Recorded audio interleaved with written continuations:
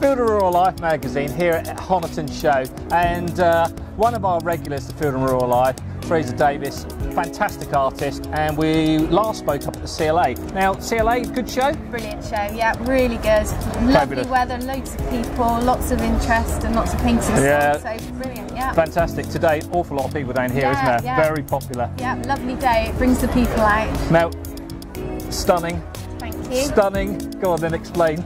I just love the vibrant reds of the hunting jacket. Beautiful. And I, I really enjoy doing still lifes. I like to set it all up and take the photographs, rearrange how I'm going to put everything till I get it just right, and then and sort of obviously do the painting. I love to paint. Did, did you ride?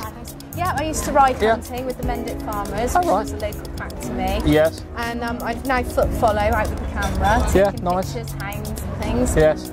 And um, I love to go to the old sporting sales and buy all the old equipment, like the top hats. So, so these are actual pieces that you've placed. Yeah, um, Huntsman actually gave me the red coat because I was looking for one for um, Beautiful. reference. Yes. Um, the hunting horn's mine. I had that as a Christmas present. Oh, that's nice. And um, the hunting whip's mine that I used to carry hunting. Lovely. And the saddle again, that's my, my horse's saddle.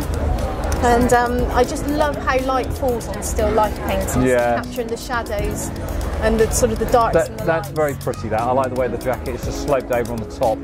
Very nice piece. Very nice piece indeed.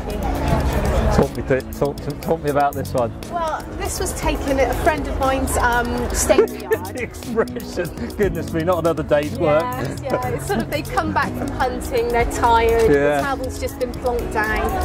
Um, yeah, like I was saying, a friend of mine has this very old stable yard, like a really old coaching yard, so Oh, it's an ideal place to Oh, it. And he already had the um, the saddle horse with the coat and everything was already draped over there when I got there. Nice. So I just put the photos of the hounds in that I already had from reference. That's lovely. And again, the, the cheeky little terrier. I mean, all hunt kennels have got one. Yes. And um, again, my hunting horn I just placed in there just to fill this in. Well, really nice, Teresa. Lovely. Uh, the tack ring. Um, great. Teresa Davis uh, always has something in every every uh, monthly issue. Uh, contact details are in the directory page. Uh, please do give her a call, and she will explain all the different uh, paintings that she has on offer. Thank you very much Thank indeed. you. See you soon. thanks.